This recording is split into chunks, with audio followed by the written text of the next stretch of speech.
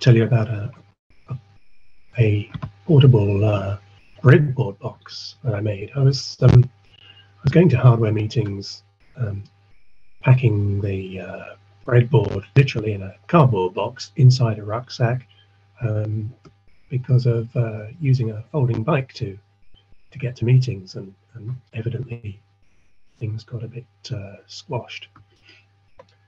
And this is um, what I replaced it with. So that's that's what I'm going to talk about. Um, the uh, the idea is um, to avoid as much sort of setup and, and tear down when when traveling and, and things getting mislaid, um, but also to have um, a a box so that prototypes can be sort of placed in situ and tried out for a bit. Uh, you can't really leave a, an open breadboard on a living room shelf so easily if you've got uh, a busy house. Um, so first idea was to try uh, throwing in everything, a bit like M5 Stack do. They have um, all of those peripherals you see in the bottom uh, drawing. Um, and of course, you need uh, interfaces. They, you've got the screen and three buttons there, but you'd also want uh, some um, linear uh, inputs and, and so on. Um, and uh, I, I kind of tried something similar. I, I made, isn't this working? Come on. I made uh, a small box with a, a, a, microbit in it and brought out the microbit connections onto a header. And uh, here it is um, doing its thing on my handlebars. Um, and uh, used it as a, an oscilloscope to, uh, to, to debug back to the old breadboard. Um, the scope would show that sort of thing and had unexpected uses. This is a, a, brand new potentiometer which looked fine on a meter, but you can see turning it, it very poor contact. So that was all right as far as it was limited to not having um, breadboarding scope other than the, uh, the header inside the very cramped box. I had a look at what else people had done. This is um, a delightful Arduino Uno. The only problem is that to to travel with that, you'd have to um, tear down your your uh, breadboarding. Um, Adafruit do this bento box, um, and it doesn't, to my idea, uh, supply a great deal. You've still got to put all your I/O on the breadboard and run out of space. Um, Price is an issue too. That's uh, bring your own Arduino at price. Um, this one's my favorite that uh, somebody's made with um, I/O on the front and plenty of uh, space for breadboarding. So I got the bits together, um, did some uh, measuring up to see how these things would fit, and this is what I ended up uh, needing to, to, to cram together. It's worth having a look at the very center of the open box space. There's a, a pale gray rectangular sensor in there. Um, that's flat. And uh, when you drop that, it can take a long time to find it again. So what I chose was um, a thing called a soft pot, which you may have come across. Uh, these are sold as, um, as potentiometers with a self-adhesive backing. And uh, you have the, the um, strip right across the top as the uh, center terminal, and then a conductive strip underneath it with contacts at each end. So you'd think that this thing would um, would just emulate a normal potentiometer. You you push on it in the middle, and the, uh, the, the, the, top strip makes contact with the resistive strip on the base. Um, and that, that's fine. Uh, but you can do more. And I've been using um, post-it notes as repositionable uh, cutouts in order to jiggle around and fit everything on the box. Um, so that's how it uh, was uh, going together. The um, breadboard in the middle of the lid. Um, that's a, a pyboard on the left. And uh, on the right is a, a 20 by 4 LCD display. Um, that fits in the lid loosely so that you can turn it over and, and see it through the lid or or using the way up. On the pyboard, um, that's power wiring and it's it's all doubled. So um, there are two pins going into the breadboard for, for every voltage because um, breadboard contacts are not the most reliable. And uh, at the other end, uh, I've soldered it to the um, pin header on the pyboard. Um, and that's that's because if you if you lose a ground, you can easily end up with five volts on a three volt input. The the pyboard's quite good that way. Um, it's 3.3 volts, but it's five volt tolerant, except for the um, accelerometer on the board, uh, which means that your I2C has to only run at uh, 3.3. So there you can see the um, soldering direct onto the pins there.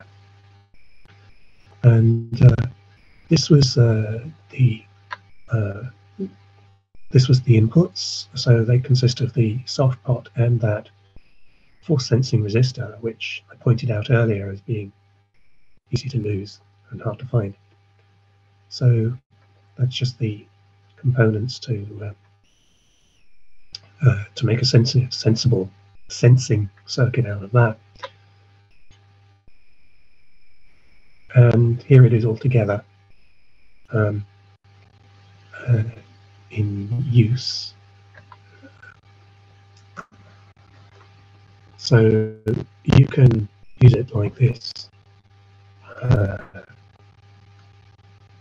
with the, the box closed and you've got access to the, the sensors, um, the, the inputs in other words on the on the right hand side. Um,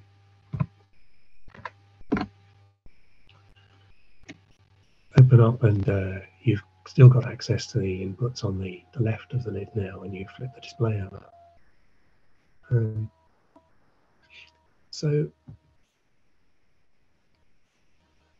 that's this is um, this is the the soft pot. So I had my finger on the soft pot and was uh, sliding it across to the left. Uh, obviously, I've got a little bit more to do on my um, on my sums here because as I go across to the left, the the uh, width of my the contact my finger is making is, is diminishing when in fact I was pressing equally hard all the time. Um, but that's that's the interesting thing about the soft pot, I reckon, is that you can uh, measure separately the the resistive track um, from the left pin to the contact point and from the right pin to the contact point.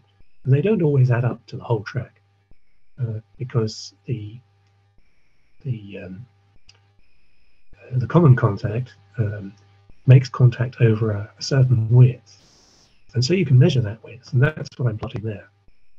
Um, and because fingers are soft, that means you can do pressure sensing. Um, you can you can get a, a, rough, very very approximate idea of um, how hard somebody's uh, pressing. Um,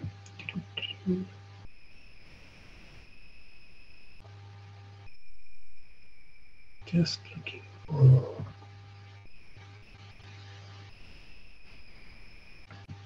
Uh, okay, um, mislaid. And um, this is uh, the um, the uh, event loop where it says while true, and the um, the uh, setup above it. Um, for that, this is the bare bones of it. Um, in the event loop, you've got a synchronize for the next poll. I didn't want to um, uh, just keep on uh, buzzing around the event loop. I wanted the um, inputs to be sampled regularly so that if I want to process them um, further, then I won't necessarily get a, a, a, rush of inputs if there's not much processing to be done, a rush of inputs that all look the same, and then a change in the rate of input when there's heavy work to do that slows the loop down. So you, you just um, read the, uh, the softpot and uh, print out the, the line you saw, and then do a, an incremental garbage collect to finish off.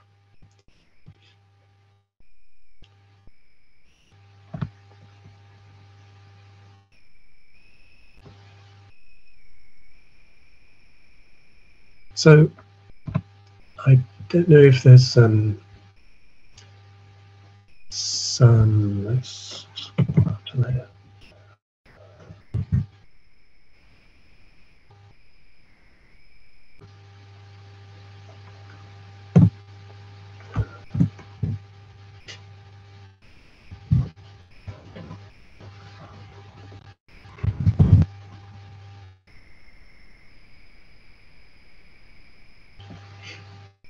Okay, so um, just a few notes really on on the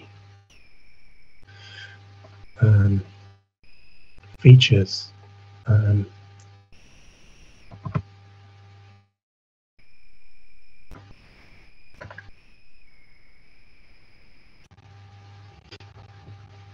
the, um, the, soft pot, obviously, because it uh, gives you more information than a, um, a, basic potentiometer, and because you can randomly access it rather than having to slide like you would with a conventional potentiometer. Um, it means you can use it as a push button or a touchpad. Um,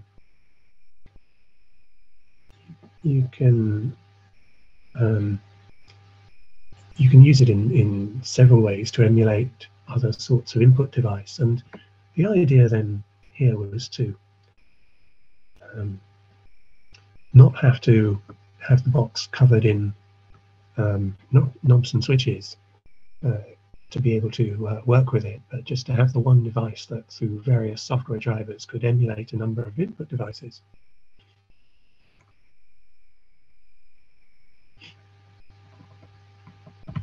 Um, you may have noticed earlier, I don't know, that uh, uh, one thing I did find was that the the polycarbonate of the lid um, split where I made a slot cut for the USB cable, and um, it the the, the split uh, goes directly back towards the molding injection point. So it's uh, although it's quite thick, it's it's actually a little bit brittle when you go putting sharp angled cuts into it. So I clearly needed a, a dab of epoxy there. Um, the uh, some other goals with this was, was to make it quick and easy to use, hence integrating the the lead rather than needing to take one and finding I'd forgotten it, and using elastic bands rather than uh, screws to close the um, close the box case. So uh, I'll just take you back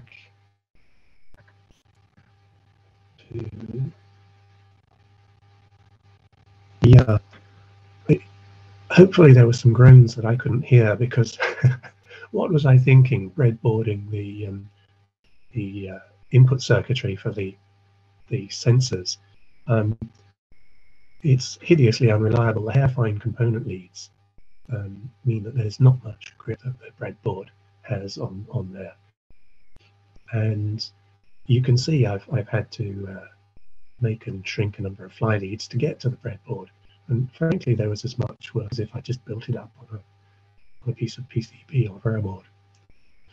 Another lesson from the build um, was uh, to um, uh, sorry.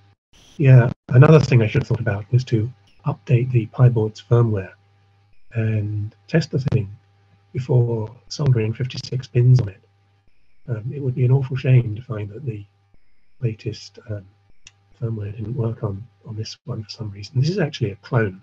They're priced at about uh, between 30 and 45 pounds, the, the pyboards for the, the same version. Um, I got mine um, as one of the earliest on Kickstarter for uh, for 30. Um, you can hunt around a bit, and, and, this clone was on AliExpress and came to nine pounds with a, introductory offer. Um, and another thing that's that had more more effects than I'd anticipated was that because I was trying to keep it portable and fit everything in a small case, um, the uh, the whole thing needed short wiring, and it just made it much more work to to solder, fiddling around with these bits of wire that were 20 millimeters long. Um, and it was another thing that that uh, arose from the tight space was that no matter how much I drew out diagrams beforehand, in practice it was never quite enough. You can see on the edge towards us here, there's the, the pale coloured soft pot along the edge, and to the right of it, a, a dark shadow, that's the, the FSR. And uh, there was um, there was uh, not enough space to uh, even put a resistor and a capacitor uh, in series in the leads with that as they went to um, uh, jumpers onto the pyboard. And I ended up having to mount the um, orange capacitor in its own little socket on the right hand edge of the, the board. Um, distrib distributing the uh, components along the wiring um, when doing small projects like this, one of the key things I found is that uh, the solder wicks into the wires and stiffens them up and causes them to break when you move them. So to get around that, I uh, I, um, I sometimes solder the the wires alongside the pins instead of onto the end. Here, here I'm soldering wires onto the end of a piece of header.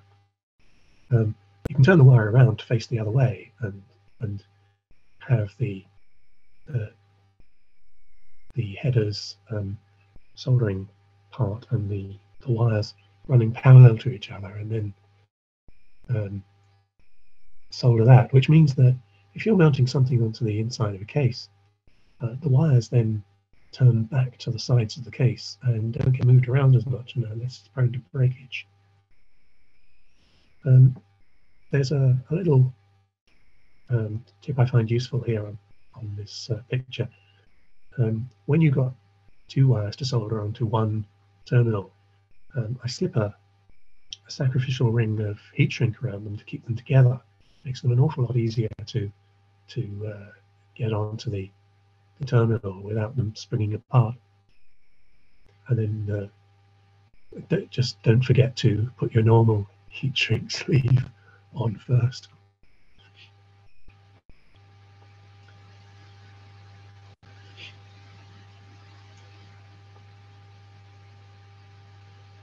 Um,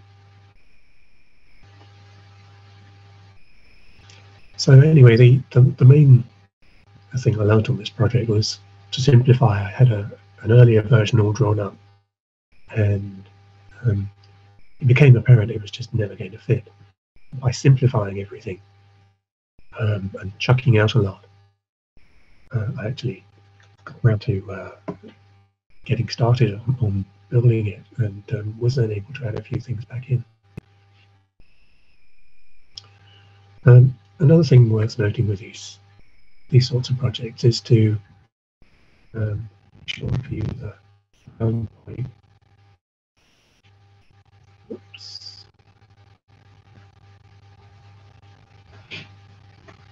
And uh, here we've got all the powers um, going back to the corner of the board. Uh, and the same on the um, the uh, printboard. Um, even if it gets a bit like the uh, the green wires there, and then take the shortest route out to the side, so that effectively the the uh, the join between the, the breadboard and the pyboard is is your your ground point.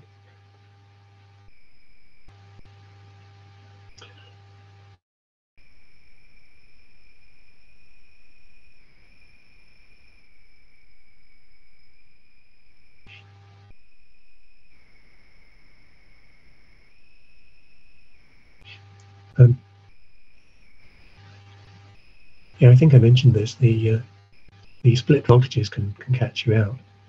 Um, the display there is a, a 5 volt display. Um, it works on 3.3 volt uh, I2C drive, so I can drive it directly from the pyboard. Great, you might think, but the LCD has got pull-ups on, and those pull up to 5 volts, of course.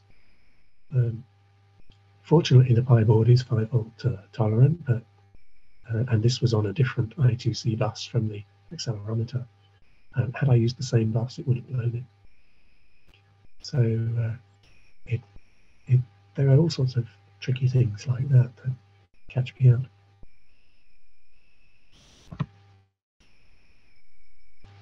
Um, any questions at all?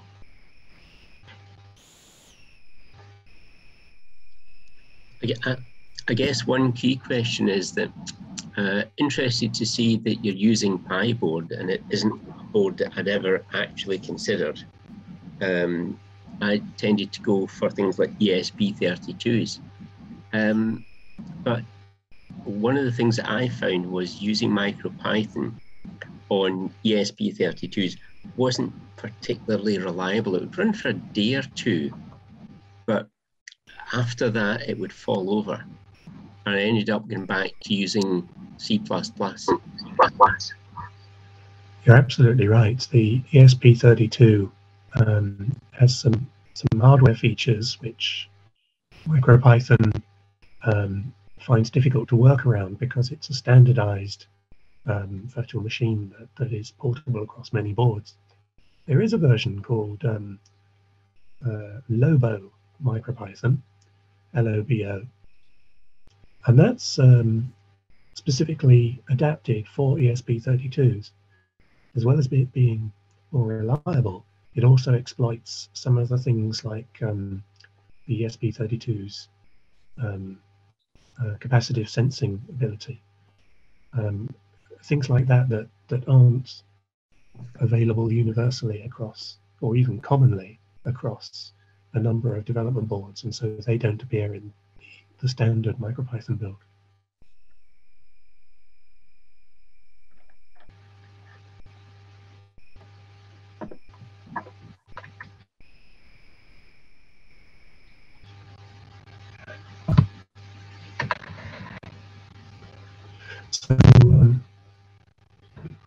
There's some quite good um, cases for the Pi that include breadboard. You can send those.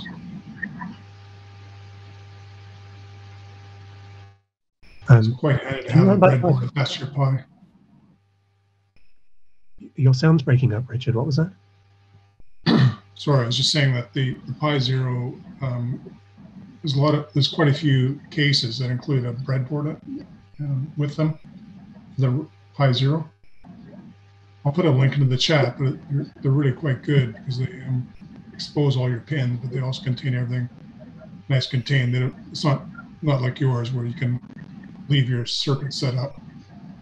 At least it's a it's a neat um, neat way to keep your Pi Zero with a breadboard. I'll put I'll put a link into the uh, chat.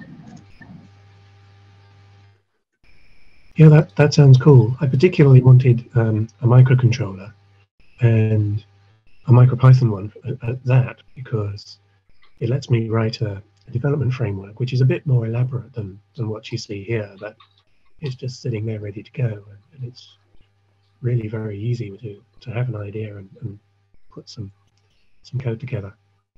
Um, I, I, did that uh, yesterday actually. Um, I was just wondering whether you, have tried it in um, in real life. Like, have you have you been traveling with it a lot? Does it hold together well? No, it's it's um, it's only recently done and uh, needs a bit of uh, polishing. But um, but I did use it with, in the course of um, making this, which is um, that's a, a, a speed controller for my electric bike, and uh, it was it was very useful to have the the um, the loop all set up with the um, input peripherals as well. Um, I prototyped the whole thing on the, the portable uh, breadboard and then ported it across to the microbit, which took well several minutes actually. it was, it's um, it's very similar. It, it runs a different version of MicroPython, but uh, similarities. Uh, there's very little to change. Did you want me to um, uh, to say a few words on soldering technique? Yeah, yeah, that could be good if you, few few tech, few um, okay. building tips. Well, um, I think the the thing that uh, I find key is is that uh, it's not so much about getting the right temperature as um, about uh, wetting. Um, so if you've got a couple of billiard balls touching, um, they touch at a, a, point contact and you aren't going to get heat transfer across that. It's the same with your soldering iron tip and, and the components you're soldering. So you, you put a very thin skin of uh, solder on the iron tip, bring it into contact, and capillary action draws the um, solder to form a, a bridge um, around the contact spot. And it's that ring of solder around it that uh, conducts the, the heat. So wetting is uh, key, and for that you, you need to um, overcome oxidation so that the surface tension gets the solder flowing. Um, so cleanliness is the, the other key thing I find. Uh, I don't use um, one of those uh, sort of brass um, scouring sponge uh, pad things. I use um, a, a, wet uh, sponge, a water-soaked sponge, to clean off the soldering iron. And because it's at a high temperature, it oxidizes very fast. So clean off the soldering iron and then um, immediately give it a minute amount of solder, the thinnest of coatings, go to my component and the uh, solder gets sucked onto the component because the everything's clean and it, it, it wets well. Um, so it's a very, very brief touch is is I find works best for soldering, especially if you uh, if you're soldering something small. Um, and the, the microbit's half the size of a credit card, and those those um, contacts on the bottom there, one and a quarter millimeter spacing. Um, so obviously the the um, flux is in, important. I do find that the resin core solders vary, and getting a, a, a well-known brand is worth it. And of course, getting lead solder for DIY. Um,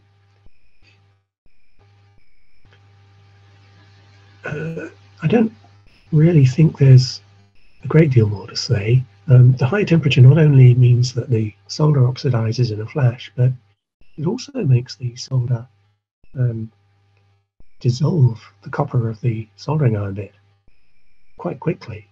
So your, your soldering iron bit is nickel coated, but once that wears through, it will eat a cavity into the copper like a tooth. If you want to reduce all of of how fast this happens. Every time you've made a joint, go to the go over your waste bin and shake off any remaining solder. You want the, the minimum quantity of solder left on that hot iron um, so that there's uh, um, so little solder that it it builds up a high concentration of copper really quickly um, when it dissolves a little and that slows down the following um, solution process. So you're constantly shaking solder off the iron, giving it a wipe on the wet sponge, and then back in the rack or using it. And of course, uh, switch the iron off um, as soon as you you can. Don't don't leave it sitting there on the bench in, in five minutes because really small tip. It'll it'll heat up really quickly. Um, another neat trick I saw was a picture of somebody who put a, an elastic band around the handle of a pair of pliers and made themselves a component holding um, grip without needing to uh, get one of those elaborate uh, bench edge um, uh, third hands, which takes up useful space on the bench. And um, that's very nearly it. There's there's one focus. There's one more tip I have for you. Keep your uh, workbench tidy. Obviously, that's important. Um, on the right-hand edge, there is the blue soldering iron rest. And the reason the soldering iron is balanced right on the, the edge of the bench is because underneath the bench, I've got a fan well out of the way, um, and it's blowing a draft up alongside the edge of the bench, so all the fumes get pulled away without taking up any valuable space. Um, so that's it really. I hope that was useful. Any other questions?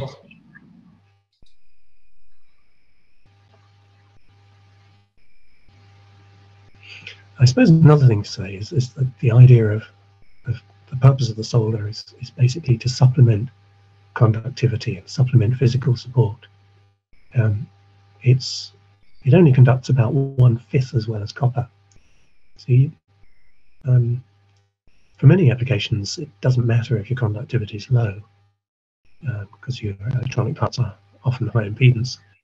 But what is the point of using up a lot of um, carefully crafted solder and, and creating tracks um, by dragging that around.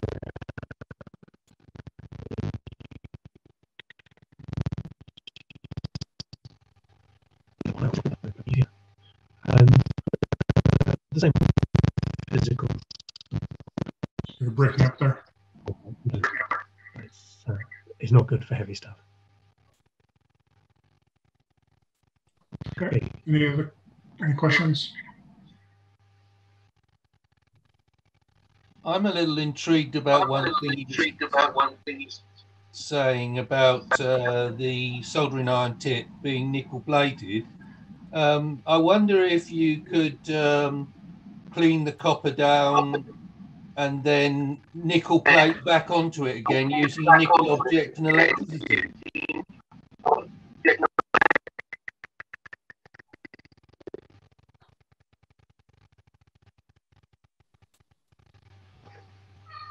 No. More chemistry, isn't it? What's I guess it's going to need to clean it up, ready to, uh, to do that.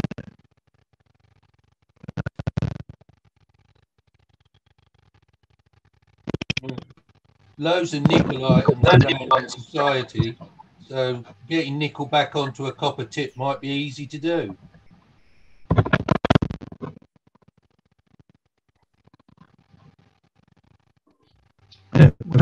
something I meant to mention is that because of the the way the um, the wetting is key, uh, not a screwdriver blade, a screwdriver shaped well,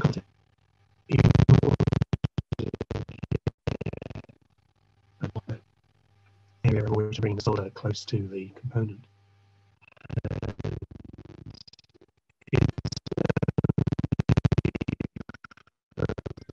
Your audio is really, really bad. Can't make out anything you're saying.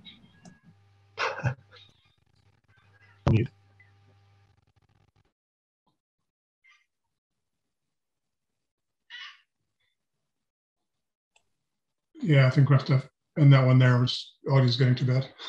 Well, I had one other comment. Somebody told me that soldering iron tips, when you get them, actually come with iron on the copper, not just nickel.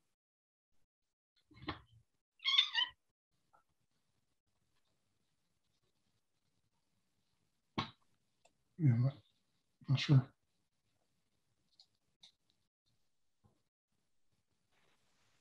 Um, uh, something else occurred to Yeah. me. They talked about the um, in a portable uh, bread breadboard scenario, uh, the, the cables and the soldering cables getting um, worn through through through movement. Just thinking about it, would, would a ninety degree header um, help so that you could then potentially solder on and then um, cable tie or or, secure, or hot glue the cable to the circuit board rather than it standing out um, standing out on its own. Which cable is that? Um, you, t- you talked about uh, sold, carefully soldering on a cable that was protruding from a circuit board. If you used a 90 degree header, um, then the cable would be against the circuit board rather than standing proud.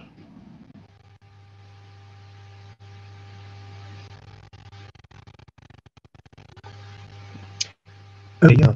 Um, I got some angle header for, for doing exactly what I um, it just coincidentally ended up I've not needed to use it yet. I think it's a good idea. Okay, thank you. Thank you.